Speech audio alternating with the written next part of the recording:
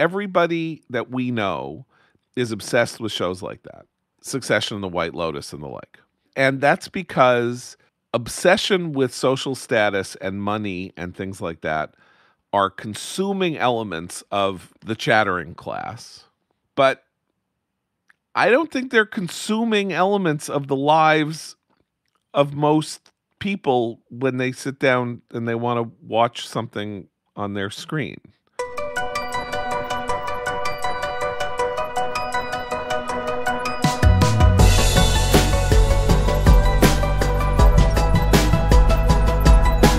Last week, we asked Mohamed El-Erian what the economy and the markets would look like in 2023. Sticking with a version of that theme, we wanted to ask our friend and frequent guest on this podcast, John Podhoretz, what we're going to actually watch in 2023. What's happening to the film and television industry, and what's happening to our consumption habits? John, who's been on this podcast to talk about a range of issues, is a writer, public intellectual, and culture critic. He's the editor in chief of Commentary Magazine, which I'm a big fan of and I'm on the board of. He's host of Commentary's award winning daily podcast. He's a columnist for the New York Post. He was film critic for the Weekly Standard and now writes frequent reviews of television and film for the Washington Free Beacon. This is Call Me Back. And I'm pleased to welcome back to this podcast fan favorite, longtime friend, John Podhoretz. John, thanks for coming on. Hi, Dan. I mean, look, I'm no Mohamed El-Erian, but I'll, I'll do in a pinch. I'll do, Do you in a mind, pinch by the way, need- that you come on right at so our last the last episode was Mohamed El-Erian, and I know I mean, you're I, you're I a huge fan. I, I, I, I don't mind. I feel very um, insecure uh, because uh, his episodes are just amazingly great, and now you know I gotta. It's like going on after, you know, uh, it's like being you go on after Jerry Seinfeld to do a to do a stand up, like you know, in the lineup. That's that's not good. So. yeah, you. Uh, yeah, but you know what's amazing about Muhammad, uh, among many other things, is that he can swing from talking about like the Fed funds rate and go deep on it, and and then suddenly we're deep in- the the Meadowlands and talking about the jet season. Yeah. and he's just as deep on that. I mean, A well, great. a well-rounded person. yeah, but you have range too. Okay, And well, So, so with It, Mohammed, do- it do- doesn't about- make me any money. My range, my range, may, it's the, the big, big distinction here is that um, is Right. that I'm not No- I'm not the no president of the you to run university. I didn't run. Yes, I didn't run the world's largest hedge fund. Nothing. No one's but I asking you to run range. PIMCO or the And Harvard Management that Company. and a nickel will get me a cup of coffee. But yeah, You're right. You've got range. Um, so, so with Mohammed, we talked about the economy in 2023, and so with you, we're going to talk about television and film in 2023, and looking ahead and trying to understand. Like with Mohammed, it was like, what the hell's going to be happening in the economy and the markets for the next year? And with you, we're going to talk about what are people going to be watching for the next year something you and I have talked about offline. And I want to start by reading, uh, quoting Derek Thompson, who's been on this podcast, who writes for The Atlantic. You know him. Actually, I think Derek Thompson is like often much maligned on the commentary podcast, but or at least during COVID he was. But he's a uh, he's a smart guy. So he wrote this piece that, that just came out in the Atlantic where he goes he tries to understand why there are all these mass layoffs in tech and because he, he, he says actually they don't really make sense but but he's trying to figure out all the possible culprits and one of them and i'm quoting here is he says many people predicted that the di- digitization of the pandemic economy in 2020 such as the rise in streaming entertainment and online food delivery apps and at-home fitness were quote accelerations pushing us all into a future that was coming anyway. In this interpretation, the pandemic was a time machine, hastening the 2030s and raising tech valuations accordingly. Hiring hiring boomed across tech as companies added tens of thousands of workers to meet this expectation of acceleration. So basically, he was saying, which in the early version of this podcast, our post-corona podcast, which is why actually I, we had Derek Thompson on, we were trying to figure out what what the what are the big changes that were coming that you know if you if you believe or he's pointing to is you believe that like we thought all these things were going to come in the 30s or the 2030s or 2040s, and the pandemic just brought them in 2020 and 2021, and that was the new normal. That that was going to stay. It just moved everything up. It accelerated, and you know that that was how we were going to consume television and film. And now the time machine seems to be a bust. It seems that if you just look at recent news and entertainment, it's w- w- something's reverting back to pre-pandemic. And so I I know you have views on this, and so I want you to talk tell us are, are is the time was the time machine thing completely overstated and why?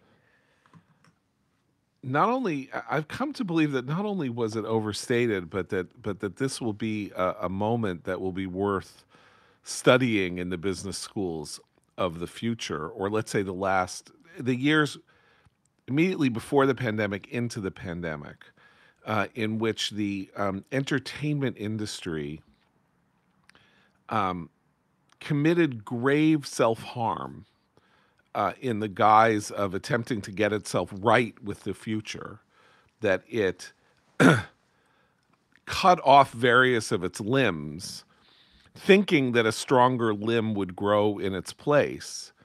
And that didn't happen. So I'm thinking about how the entertainment industry uh, accelerated like crazy in the 1970s and the 1980s due to the simultaneous entry into the business of cable television and home video devices, right? First the VCR, then the then the DVD player.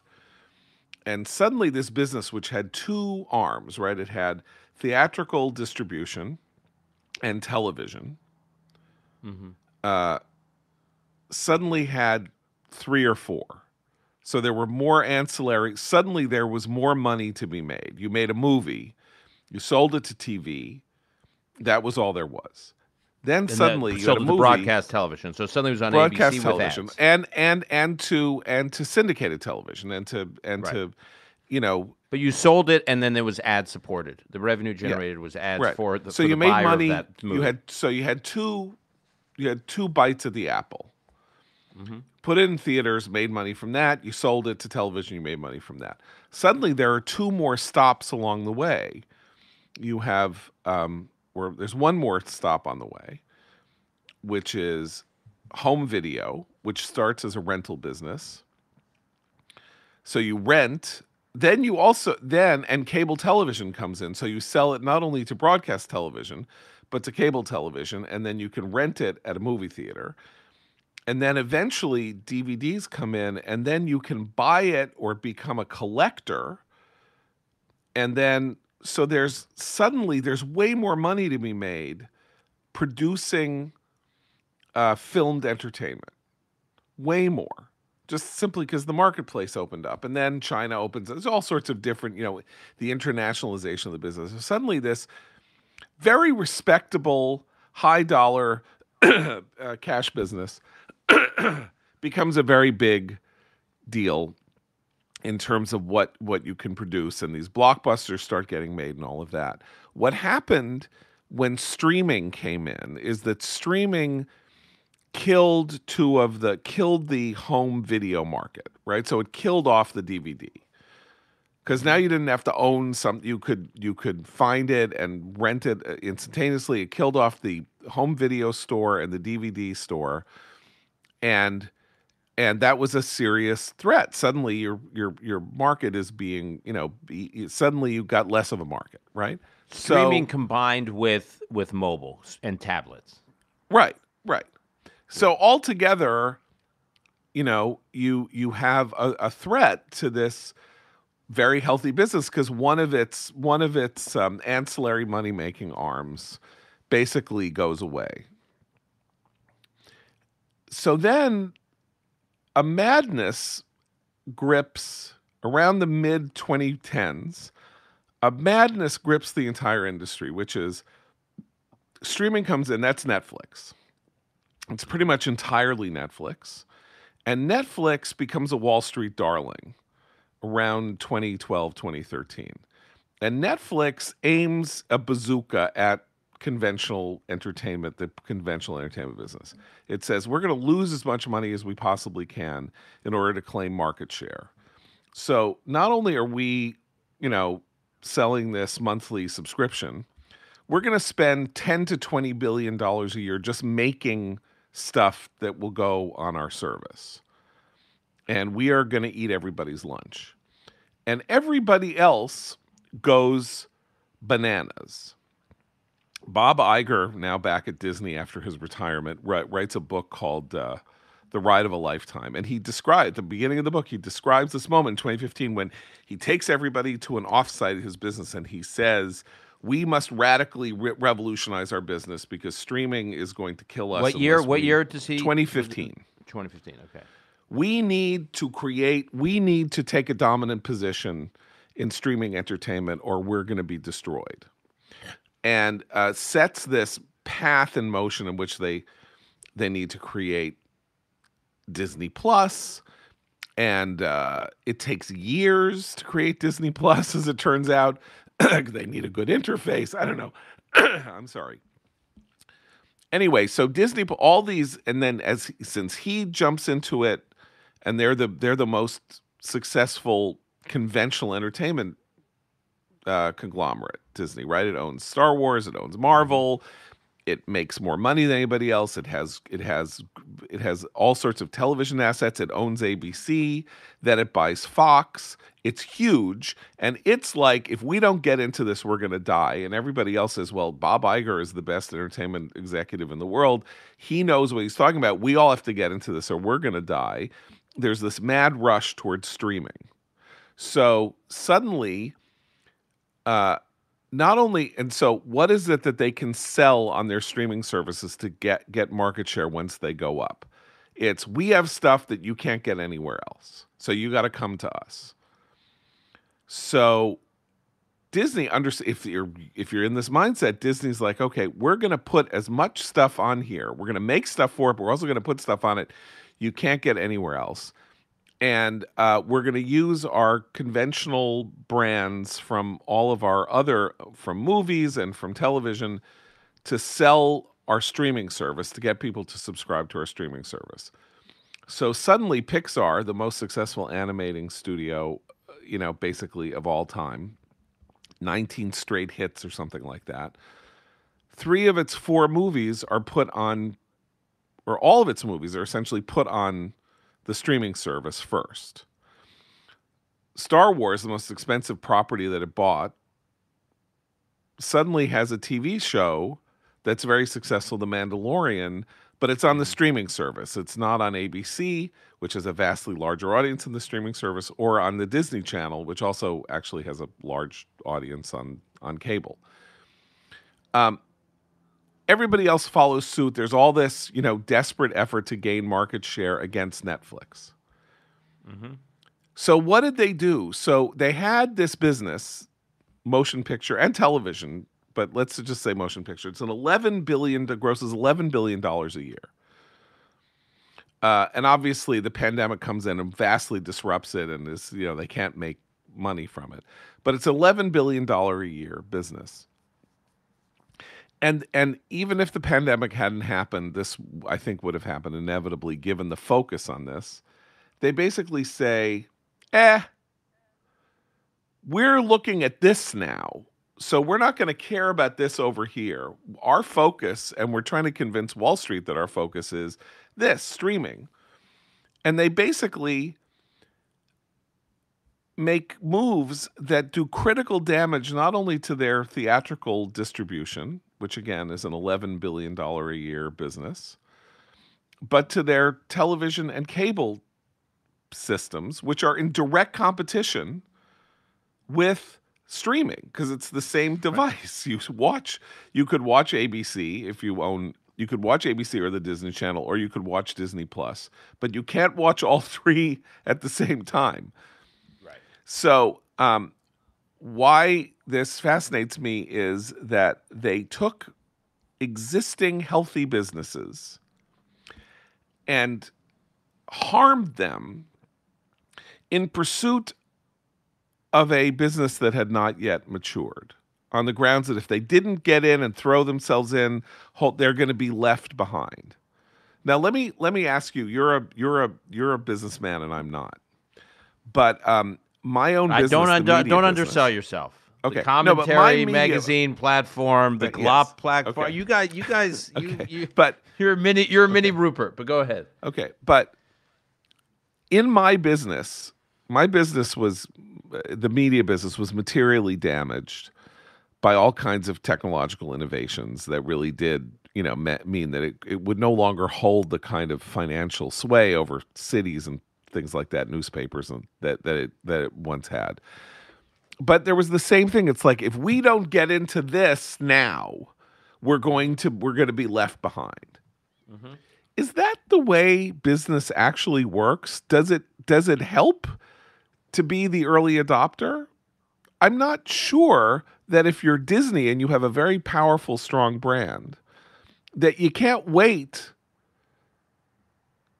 and go in when everything is mature you're the leading you're the leading you have the leading position in the already extant fields and the idea that you need to be in the early war to establish uh, dominance, I think is is is a is a misunderstanding. Like, let Netflix mature the business, then you go in.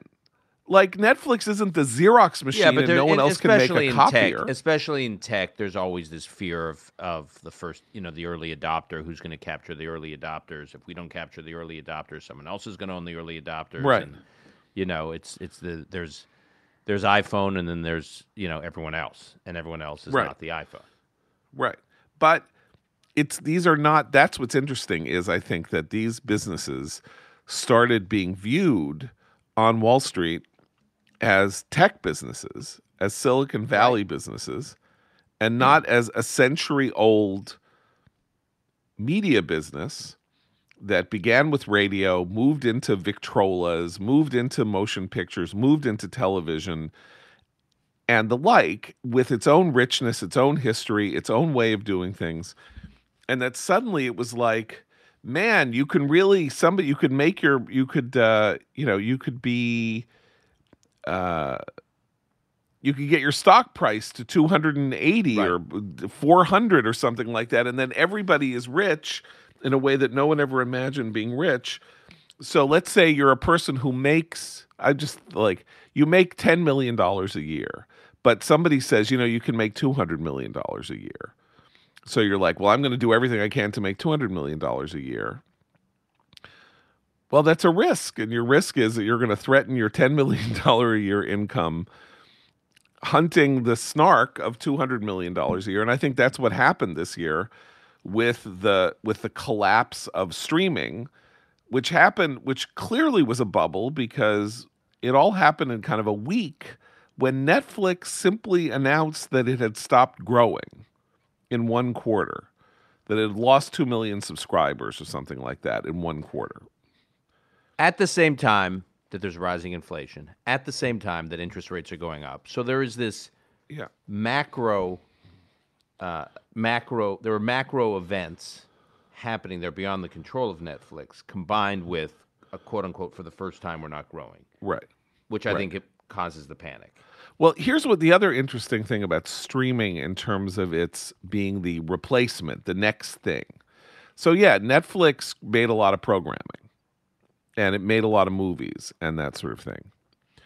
But um, your Disney, your NBC, your you know uh, your Comcast, your Viacom, you know you own these broadcast networks and television stations and movie studios.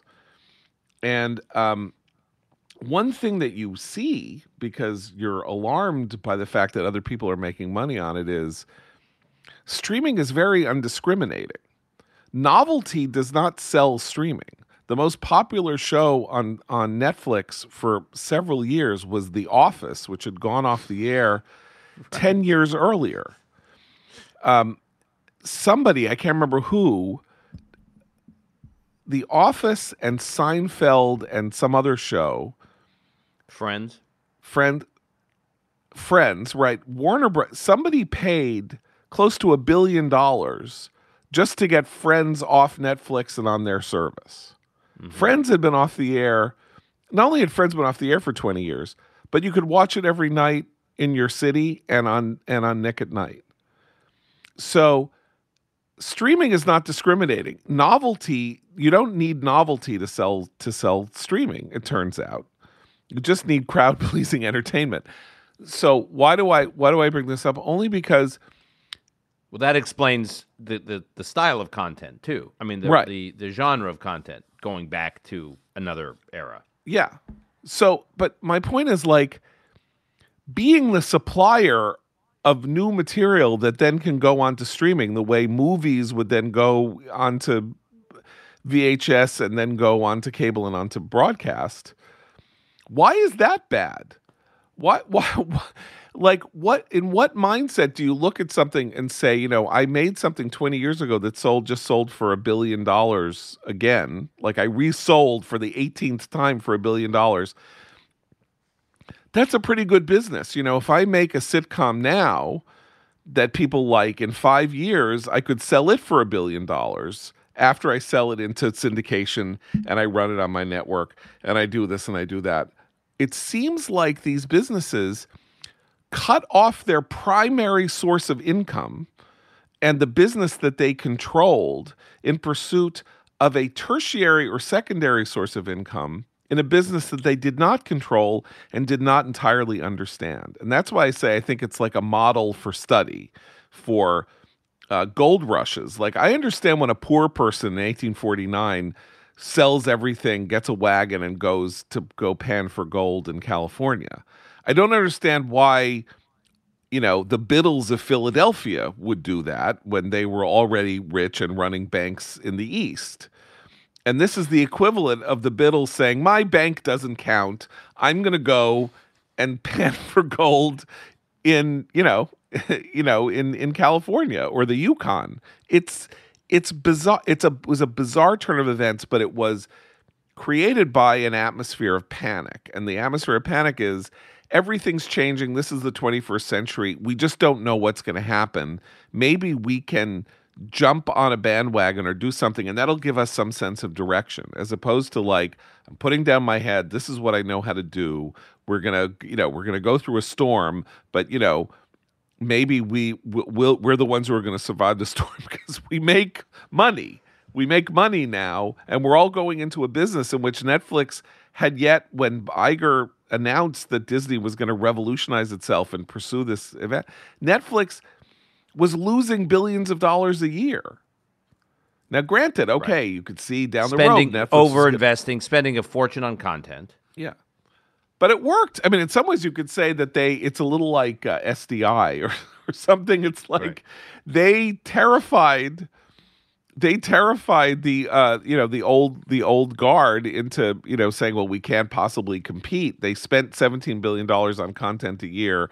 And then Disney said, well, we better, we better say uncle and give up because we can't compete with this. But of course, it could compete with this. how I mentioned tablets before. The reality is, I, I, I got to believe some of the calculation was that every one of us is walking around with a supercomputer that has a screen, a very visually uh, satisfying screen to watch content on, and our walk around with it in our pockets, and they just assume that there would be all this streaming consumption on these devices, Right. and and my I watch an entire generation now consuming content on their devices, but it's not the streaming services content. It's TikTok. It's TikTok, right? And what's TikTok? It's 20 seconds long. See, there was this idea because it's hard to do this, right? It's hard to conceptualize where these things are going.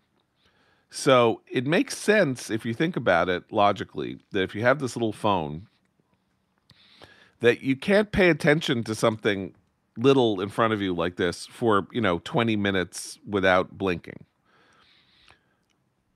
like there's too many distractions in your line of sight and you know there's going to be a plot development and you're going to miss it and okay. So tiktok's perfect because these things are 20 seconds long and you can kind of concentrate on them for 20 seconds and then when somebody walks by in the street you can still not bump into them because you're you're that you, you you will have time to avoid running into them. And this, I think, is true in general. Like Bob Iger ran a, an entertainment conglomerate, and then he got envious of the stock price of a company that did one thing.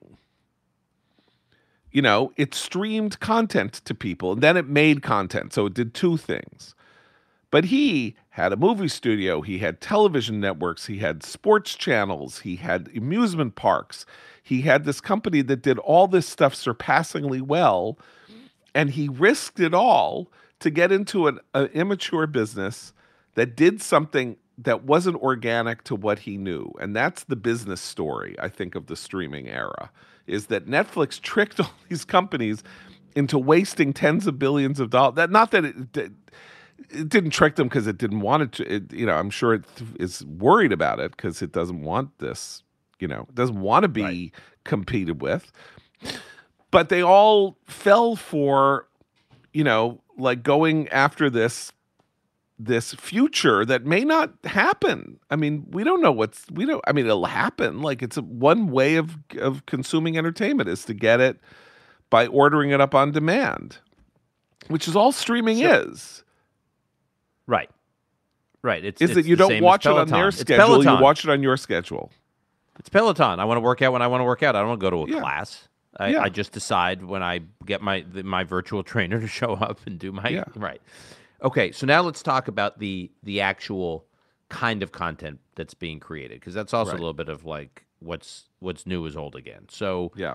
So you and I last night were talking about this this new show, Night Court, which is not a new show, right? Night Court. When I was growing up, Night Court was in the '80s. I think the first episode was in 1984. It had a run of about eight to ten years, in which uh, Harry Anderson, who most listeners, I guess, on this podcast won't know, but Harry Anderson was an actor who played a he was a he was a judge on a night shift of a Manhattan criminal court, and this was an NBC original series, you know, 80s, early 90s, and then it ended in I think 92, and it's back.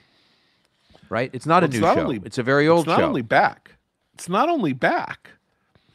If you went and said, "What were the 10 great shows of the 1980s that everybody remembers fondly?"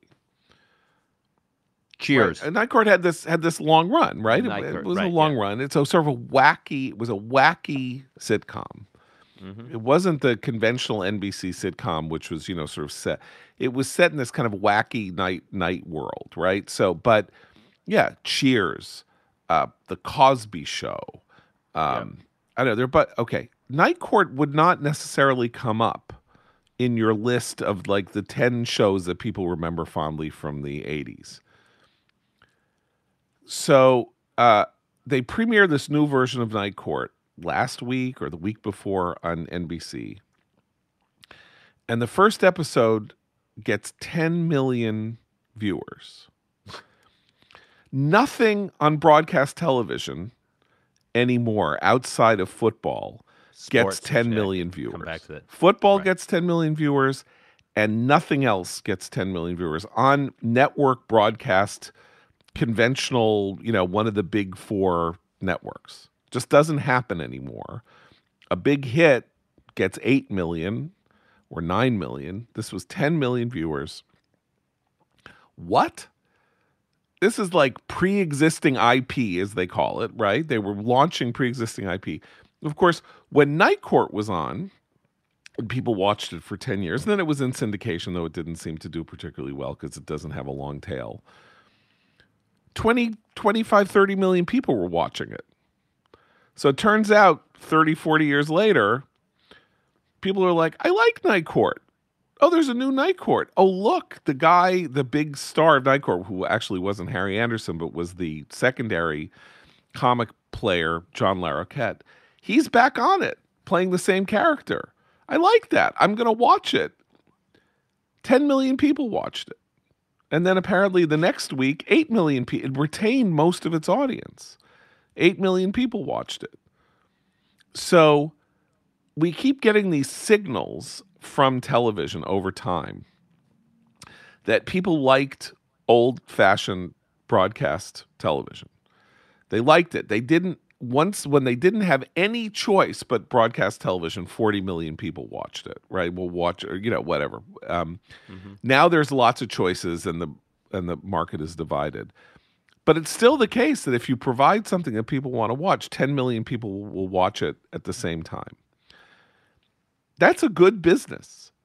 You can sell a lot of ads against that audience and make an enormous amount of money.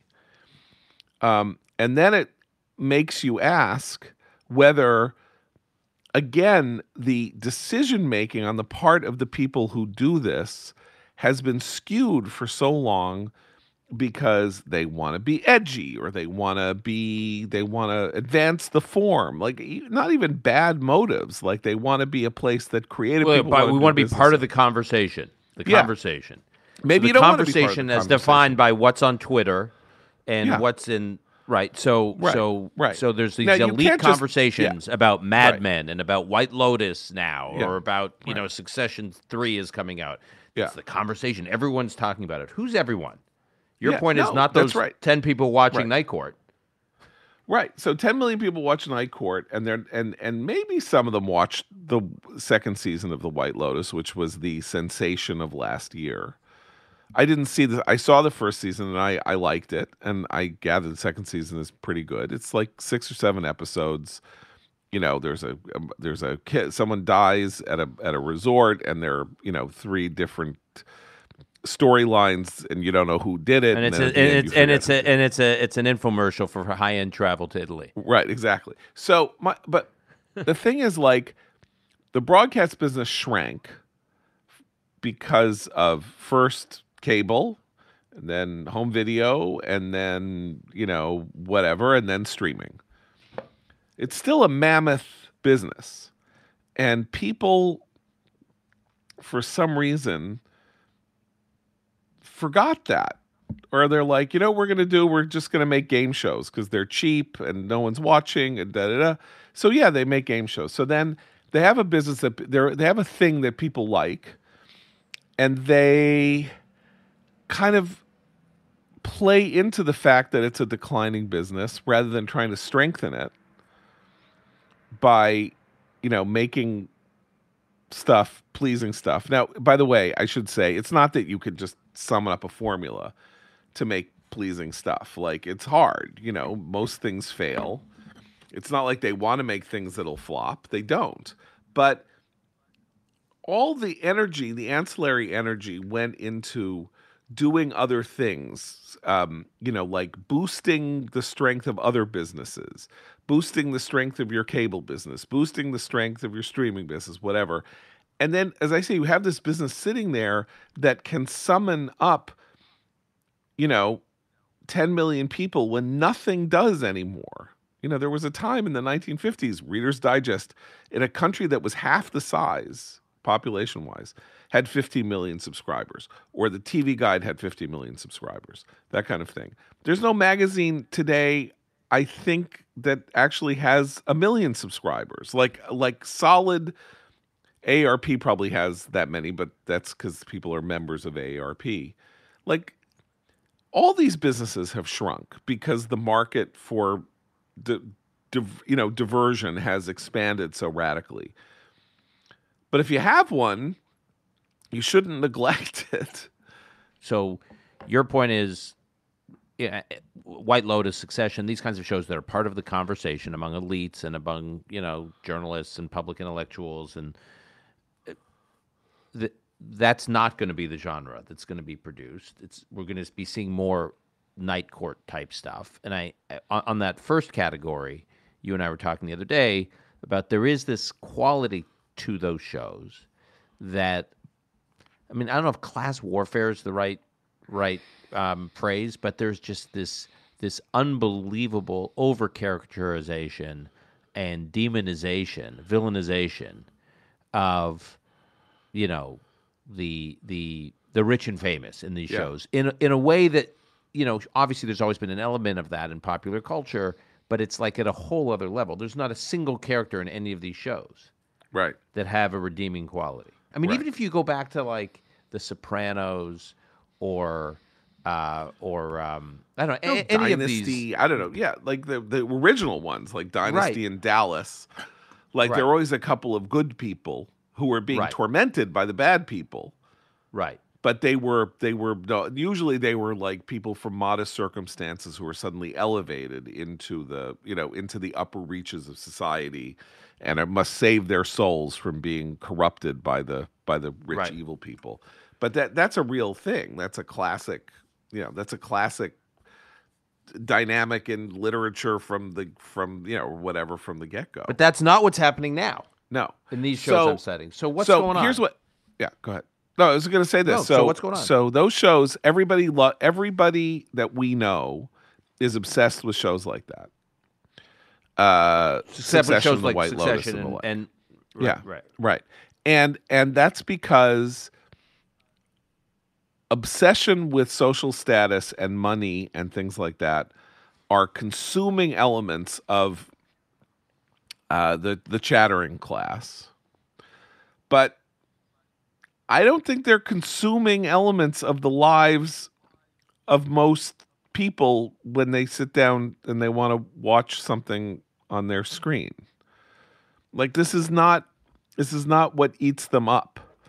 Um, it eats, you know, it's like it eats you up if you went to college with a Murdoch and then he's a Murdoch and then you're like, man, that's not fair, you know, or you know, you worked somewhere you were at a you were at a resort and there were these people who had nicer rooms than you and you're like why do they get a nice room and I don't? Like that it's understandable. It's like the thing is like you're you you, you get close enough to fantastic wealth and power if you're a person in these positions this is what david brooks called the status income dis- disequilibrium like you're a writer or you're this or you're that and you went to college with these people and you you know they might even have gone to their weddings or something like that but you know some they just live a different level of life than you are and you're just much of your life is taken with feelings of inadequacy, rage, disappointment, and envy. And that is characterized in the entertainment that you like to watch. But if you're like a person near the median income in the United States, which is, I think, $68,000 a year or something like that, family income, you're not, you don't really care what the Murdochs do. You don't care. Like, you know, maybe you're interested in, you know, You, you uh, probably don't even a- know who the Murdochs are. Like Or you're just even not, you're if not you know, you don't you're care. not It's- following it. Right. Yeah, right. So so and then this gets confused as you would say because the conversation takes place and even though you are running a populist business like eh, like entertain mass entertainment where what you want is to get into the national bloodstream in a way that will get you four to five to 10 to 15% of the overall population of the United States to consume your product. But you can't get out of the buzz in your head of the top 0.5% who are making all the noise around you. And you have to clear your head, but it's really hard to clear your head. And they, and they, and so you have very unimaginative ways in which entertainment executives do this, right? So they know if you run again a broadcast network, if you run CBS or NBC, what you know is you're probably going to have a pretty good experience putting on a mystery cop show. A cop show like CSI or NCIS or any of the Law and Orders. Yeah, yeah, let's go. Okay, you- let's yeah, go through them. Right. Okay. Law and Order franchise began in 1990. Yeah, they have three. They have two or three shows on the air, two or three Law and Orders on the air. They have a CSI. reboot of the original Law and Order. They have Yeah. sexual perversion unit or whatever that thing is called, and then they have organized crime. There are three Chicago shows on produced by the same guy, Dick Wolf. Chicago Fire, Chicago Med, and Chicago PD. Yep. All of which are crime shows. Like even Chicago Fire is a crime show because it's about firefighters, but it's always an arson or something like that Okay. CSI. on CBS, you have CSI. CSI, which began in 2000. um, or the CSI knockoffs, NCIS, which is which has I think two or three NCISs, and Blue Bloods, which is this astoundingly long-running show about a family of cops in New York. yeah. NYB, NYPD family. By the way, Right. you, you you left out SWAT. Oh, There's FBI. SWAT There's show two and FBIs Right. and a SWAT show. Okay. So what do they know? They know people like these shows, so they just put them on. They don't try to advance the form. They don't try. They know that this is what people like, and they they try to By the way. Blue Bloods. I'm just pulling this up. Yeah. Blue Bloods, which debuted in 2010, Yeah. rarely dips below 10 million viewers per episode. Yeah, right. So so Amazing. Blue Bloods, which is a very pedestrian show. I've And watched there's it two 911 shows, by the way. Yeah, two nine. Okay, so what they know is going. people will watch these. I know too much about these. No, but no. What's interesting? So people will watch these, um, but they don't promote them. They don't try to get them Emmys. They don't work to like get, make them part of the national conversation. Um, and so you have these two different tracks. So as I say, it's very hard for them to get out of the the but the noise, the buzz in their ears from Twitter and the conversation of the hyper, you know, of the hyper uh, aware media online people and all of that. But they do know they need to make some money, and so unimaginatively they'll they'll put on four FBI shows because they know that works, but they're not going to look for something new. And in totality, these cop shows are generating something like 75 million viewers. I mean, it's some in, unbelievable number, right? Yeah, and and you know, basically, this is the uh, this is the On average. backbone of this is the backbone of what what remains on on on network, And that's not Television. counting all the all the um the and they're on streamers. right. They're all on streamers. So And also you know, the reality cop shows also, which Yeah. were very controversial during the summer of 2020, post Right. George Well, Floyd these cop shows were controversial. So there's a s- like like so when when uh, George Floyd happened and there was all the defund the police talk, and of course everybody in Hollywood was you know like joining in and allyship and all yeah, of they're announcing we're pulling we're pulling the yeah we're pulling Yeah, this so they pulled from our li- yeah. cops, right? They stopped running cops, uh, which is like the oldest, one of the oldest shows on television, had been running since 1985 or something like that. And then there's a sitcom called Brooklyn Nine Nine. Yeah, My kids my loved. kids my kids are obsessed. Are you yeah. kidding? So so Brooklyn Nine Nine goes through this crisis because it's like, what do we do? We're a cop show and we're a sitcom, but of course cops are bad, so they're going to make a last. Andy season. Samberg freaking out with his agent. What did you get me Yeah. into? Yeah. So they make this last season, and like what they have is that the that the uh, the gay black captain of the police department has resigned when the show comes on because he can no longer be a, a policeman because uh, things are so so terrible. And then so he is kind of like the sacrificial lamb, and then they go on and they do wacky cop stuff for another eight episodes, and then they and then they end. So um, it's it was pretty lame, but yeah. So I just think again. So my my my ultimate point here. By the way, my one of my yeah, sons who's obsessed. Both my sons are obsessed with Brooklyn Nine Nine. They can just watch episode after episode after episode. So the other night, I introduced one of them to The Office, and we just started watching old episodes of The Mm-hmm. Office, which he absolutely loved. Yeah. And he says, "Wow, this reminds me of what Brooklyn Nine Nine used to be." Right. Yeah. Or- no, The Office, and um, my kids also love Parks and Rec, which Right. is, and uh, and again those shows, which is all, often true of broadcast shows that went into syndication. Most famously, Star Trek, which had a three-year, not very successful run on NBC, and then became this pop culture phenomenon for half a century after that. Um, you know, you'd have these shows that did okay, would go into syndication, and then audiences would find them and go berserk and watch them forever. Um, and that's also happened on streaming. That's part of what I'm what I'm talking about. There was a you know there are shows that get canceled off networks. There was a show called Lucifer, in which the devil comes back and starts solving crimes in L.A. I'm not not kidding. That's the plot. He runs a nightclub and he solves crimes. Lucifer. Okay. Lucifer. Okay. So that show is on Fox for three years. They cancel it. It goes on Netflix. It's a huge bonanza for Netflix. And then they make three more years of it. They take it from the network because it's working on their system. So, like, that's why I'm saying the streamers are undiscriminating. The best way I could look at this, say, DVDs come in and they make a lot of money. And then imagine a world in which in 1992, the head of, you know, Jack Welch announces that henceforth their entire business is going to be directed toward producing DVDs. Streaming is just a method of distribution.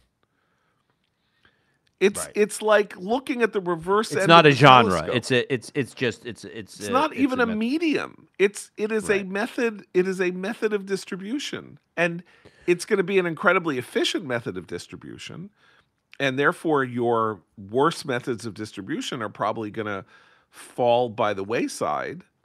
There's no question about it. That's one of the reasons that movie movies will never come back the way that they were once, because it's not an efficient way uh, method of distribution to make people leave their homes, drive somewhere, Yeah. park, buy a ticket, buy food, you know, buy get a babysitter, all of that. Like it's an inefficient way to get something that you could get more efficiently and it will exist in some form, but it's not going to be the way it, it, it, it was simply because you're going to get bet you're not going to have people talking at the screen when you're in your own house and you're going to be able to go in the kitchen make your own popcorn for 22 cents instead of $9 a bucket and it's just you know in that way it, ca- it can't go back the way the and way and and the medium can help tee up for you based on all the impressions it gets from your viewing habits. Figure out exactly what you want to watch and put things on your radar screen that you may not have ever occurred to you Yeah, because they just have all this data on you.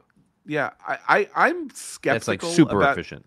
I yeah, I'm sort of skeptical about that stuff. I'm not I'm not sure why cuz um maybe it's just cuz anecdotally or personally that doesn't work on me. Like, you know, when it says you might like Yeah, this and it's at the bottom. I know I'm not I'm not a conventional viewer, so I understand that, but and I understand this idea that you can harness the the da- the tech, you can harness Right. the data.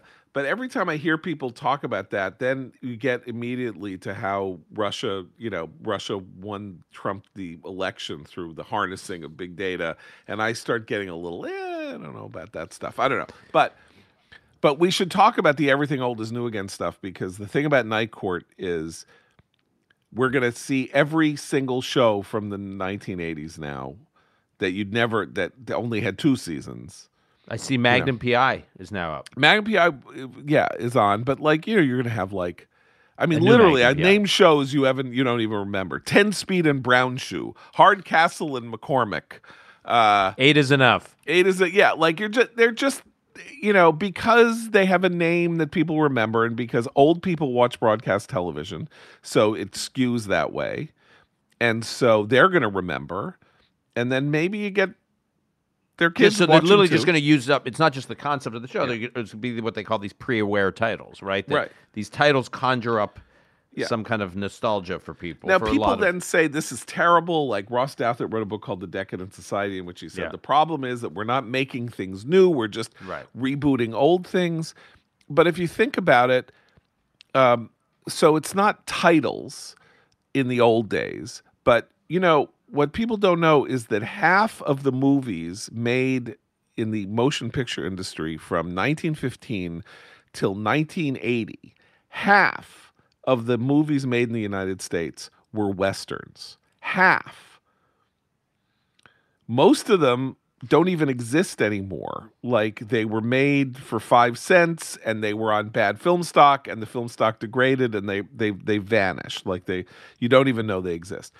Think about what that means. That means that 200 movies a year were being made. There were like Hallmark Christmas movies. There were 200 movies a year were being made. They were westerns. That's the decadent society. All westerns have exactly the same plot: a lone guy against a rancher, or a cattle thief, or a you know a bad rancher, or a bad cattle thief, or a you know a, a- a gang that comes into town. There's no difference. The plots are exactly the same. So this is always true of popular culture. Everything everything is an iteration of something else, and everybody always tries to limit debt, limit risk by using things that are familiar, and that's So where where do you f- put? So I get the the um, return of this what we would call old content that's new again. Uh, I get the I get the over conversation, the hyper conversation, or disproportionate emphasis uh, in conversation and public conversation about shows like White Lotus and Succession that are sort of Yeah. disconnected from what people are actually watching. Where do you fit the sort of what's in between those two eras, which are shows like The Wire right. or or The Sopranos? Well, okay, so you're those are two interesting examples because The Sopranos was a huge hit and was the key was a key moment, if not the key moment, in directing creative ferment on television away from the broadcast networks and onto cable and Yeah. HBO and pay cable. The Wire, which is you know, uh, was never a hit. HBO made six seasons of The Wire because everybody thought The Wire was great. And The Wire was never a hit, but it was prestigious. And all HBO was trying to do, is my friend Rob Long constantly says, who writes our Hollywood commentary column for for um, for commentary.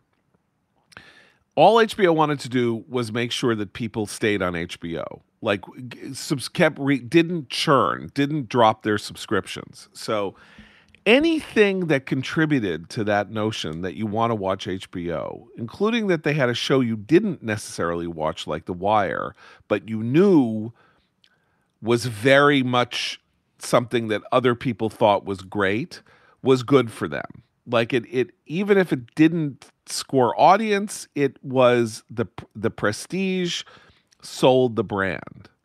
Here's another example of how. By the way, can I say yeah. something about Yeah. about the Wire? Yeah. This same chattering class that gets excited about shows like Succession and White Lotus also were the same category. I hate to categorize people. Ilk sounds terrible. Who were very excited about uh, the Wire, and, s and and still is, by the way. They still are. The Wire was not. I don't think of the Wire as I think of like White Lotus and, and Succession. The, you know, about the breakdown and decay of urban, quote unquote, liberal government. Do, do I say, even though it wasn't categ- you know characterized as such. The, you know, the police, you know, is interesting. Corrupt politicians running a city. The police were not the, the, the devils in that Right. show at all. Um, you know, the breakdown in education, public education. I mean, just think of some of the themes of. I think it was that was the third season about the schools. Yeah. This was not. This show did not fit a liberal caricature of the way the world works. No, but you it do did fit. feel when you watch Right. some of these other, Yeah. like more modern versions of it, like Right. like Succession and White Lotus. But The Wire, David Simon, who was the guiding genius Yeah. behind The Wire. Is a very radically left wing guy. And what is he? He thinks America is horrible. His problem is with American society in general, which perpetuates inequality, uh, injustice, unfairness, racial division, and all of that. And so all of this then goes under the rubric. I would say it's like liberals are ineffectual and and bad in Baltimore and The Wire, but they are just tools of the evil that is America. So in that sense, it serves very much it serves very much a thematic radical thematic purpose even as it's, you know, ruthlessly honest about what was going on. But that but that third season could be like an advertisement for you know Eva Moskowitz and Success Academy, Yes. or for like the charter school movement. It could, except then what are you doing? All you're doing then is perpetuating the the system, which needs to be radically overhauled. So I don't know. Um, I I so in the end, I mean, the thing that we we wanted to get to, and I guess we're we're like we're That's way all over time here, but We'll wrap it is Yeah. in a couple of weeks or next week uh, on Peacock, which is one of the least watched streaming services, which is NBC's streaming service. That's why it's called Peacock. It's got what something like 15 million subscribers, Something like that. I mean, it's very and it's good. So no one really understands why its numbers are so low. It has a lot of good stuff on it. Nonetheless, Peacock has a show coming on called Poker Face, and it is uh, executive produced by Rian Johnson, who made the Knives Out movies, Uh-huh.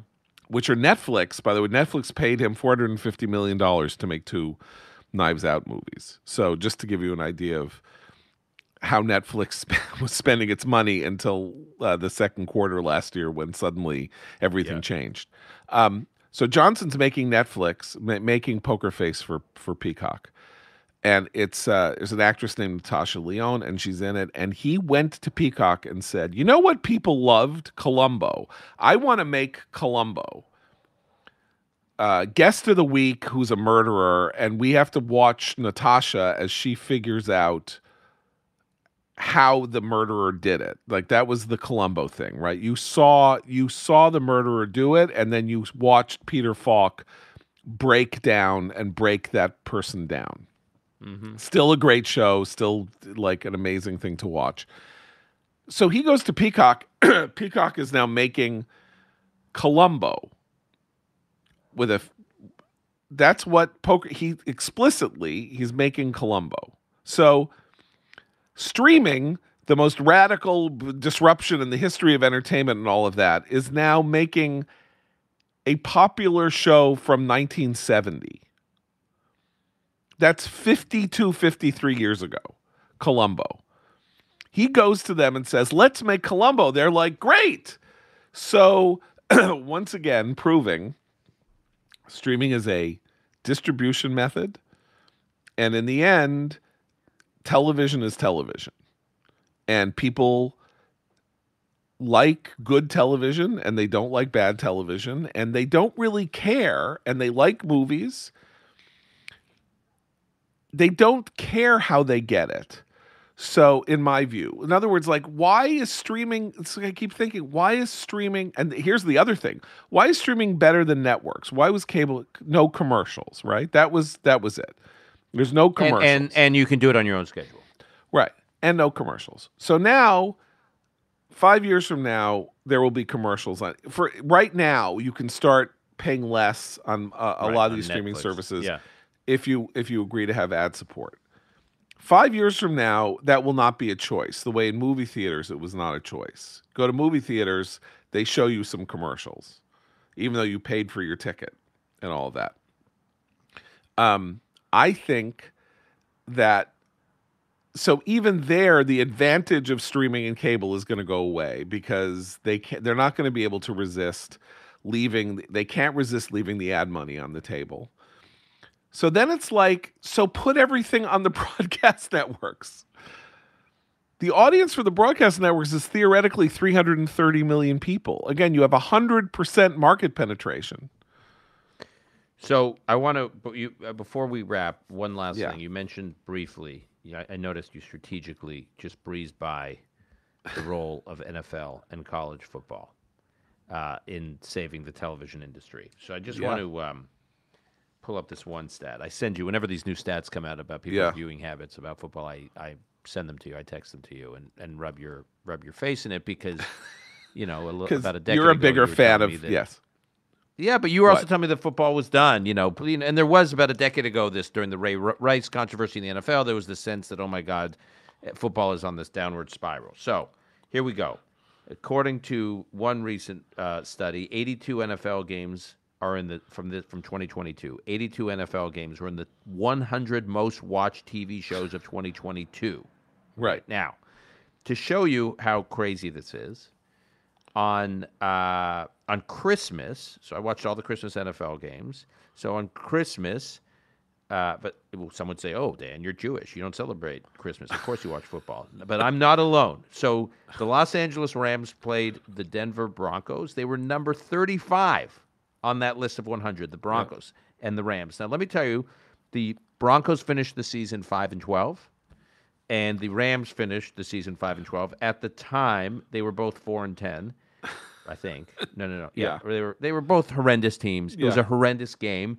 That game got more viewers than any NBA game, any any Major League Baseball game, any World Cup game. Got more viewers than the Oscars or any scripted television show. Yes. a horrendous football game on Yes. Christmas got more viewers than the Oscars or any scripted television show. Yeah. This to me is like this is a you know people had written eulogies for football Right. you know a decade ago. So that was foolish of me. But i mean the whole question for me is by the way alon we have our cold open. That was it. That was foolish of me. Sorry go ahead. All right keep going. Um no my my presumption was that the stuff and it, which has actually gotten worse in the last 10 years but it, you know the stuff with uh CRE and the and the concussions and all of that, you know, we're gonna we're gonna create a national crisis for football. cte yeah. um, CTE, excuse me. Um, Yeah. And I guess that hasn't happened yet generationally. Um, you know, uh, you'll know that it's the case when parents in West Texas don't let their kids go out for the high school football team. It's not going to be the NFL that proves this. It's going to be the question of Yeah. whether in 2045 parents are it, it would be like having your kids for parents in America go, being on a football team would be like having your kids stand on top of subway cars while they go through the you know while they go through the tunnels subway surfing you know like that if it doesn't get there football will be fine. Um, but it needs that. It's got to it's got to bubble up from the way i think there was a point at which boxing which was the most popular sport in the world something happened and people got disgusted by it or found it. And boxing is still rates on pay cable and stuff but it's not what it was. like 100 look million at- people would watch a at- boxing match. Yeah, but the, but if, if you look at mixed martial arts today, yeah which also has is a massive business, and have a massive audience, and you Yeah. look at WWE. I mean, this uh, the new CEO of, of Yeah. WWE, Nick Khan. I was just listening to a conversation with him and Bill Simmons. I mean, he was going through the data. On, so I know yeah it's it's, enter, it's fake. It's not real wrestling. But Yeah. you know, mixed martial arts is real. So there's there's successors to boxing. Oh no, I, I I agree. I'm just saying. I think that's a that was a question of whether or not the cultural. I mean, I just thought the cultural change was going to come faster, and it may not come at all. I don't know. I mean, in other words, like you know, all this like don't don't don't. Yeah, I understand. You want to coddle your kids. I want my kid to score a touchdown. Like that. That could be the cultural. That could be the cultural And- message and- of the next generation. Not And the know, power of live. The power of live. yeah. Um, so I don't, I don't, I only, I assumed that there would again be a be a cultural change that would affect the the the viability of football. The power of live is very real because football is one of these. It, the whole thing about this is that these are things, and game shows are like this too, where you actually don't know what's going to happen. Right. You don't know what's going to happen in one of these games. Every game, every moment is a plot twist, and that's exciting. And every most everything else is formulaic, and there's a lot of fakeness, and people sense fakeness, and whatever's going on in football, it's not really fake. Uh, and I, I noticed this in part, not that I follow football as close, certainly not as closely as you do, but the outrage at calls, which has been no, which is like a real thing always, and you know umpires eh, making a bad call on a pitch or something like that. But there is some sense in which what you're watching on a football field is too, you know, and this is a just contest. They're putting themselves on the line. It's a just contest, and then you have some figure from outside who says that was holding or that was you know you put your hand in somebody's face or that was roughing the passer or something like that and the rage that people have because they still think that this is also this is a contest of fairness and that someone's coming in and doing something that ruins that and it's a real emotion like people get totally crazy So I want to tell you two things, and we'll wrap on that. One, the ease with which you could substitute these controversial calls with technology is is unbelievable, right? So what Yeah. usually the call is, uh, I mean, is you know when the when the when the player does the player get in the end zone or not? Yeah. Did the player get the first down or not? Was the player out of bounds or not? If you had technology in the football, you could Yeah. actually see exactly Yeah. where the football landed, where did it make it over the line. This is so easy to do. Of course, if you inserted that, it would remove this drama Yeah. of this this ref making a call and then the coach on the sideline going bananas and the like all that that drama. I, there's this guy Warren Sharp who's a like a sports betting analyst. He's got a podcast and a newsletter. And I watched him last night doing this riff, eval- like doing the history, the statistical history of the different refs officiating certain games in the playoffs and what we should make of them and what we think of them and which ones get you know, uh, uh, influenced by the home crowd and which ones don't. I mean, it, by name and hit, like in the, it's incredible. Like this becomes it's you can't remove the ref. It's part of the, it's part of the cast. Can I also say one thing about baseball that uh, one thing about football that that is true that that uh, uh, baseball partially has partially ruined itself because of the ability to do this kind of statistical isolating on things, Right. and so therefore it's become very mechanical and data driven, and all of that. And there are just too many actors at any given point in a in a in a contest in a football on a football play Right. for that really to function. And there's so much improvisation going on if you're the quarterback or whatever, even though you're running a play. And I noticed last watching a game last night, there was this weird moment when a team when a team that was up like the 30 Giants Eagles game. Giants Eagles, right? uh, Yeah. Where, the Eagles are up like 38 to nothing. I know that Right, wasn't that, but right. with 27, 28, it. 26 to nothing. And they were going to run a two point conversion. like, why? And then so the broadcast, whoever the color said, well, you know, the, the analytics told them that they should do that. And then Right. somebody had a moment on the sidelines where it's like, you know what, this would be a bad look for us. like, it's kind of crazy Right. when we're ahead 26 points. Just let them kick the the the single point. If that happened more in baseball, baseball has had this flavor drained from it by the by the sabermetrics and all of that. Right. So Um, I will say that John- football just remains dramatic in a way that It it does. It's it's the best. Uh, thanks for doing this. This is long. I feel like like uh, Abe Greenwald here. I mean, I barely got a word in. I'm like the Abe. I'm the Abe of my own podcast. but, but, you know, uh, I appreciate you taking the time. This was great. Masterclass as always. Um, and um, thanks for doing it. We'll have you back on. Okay.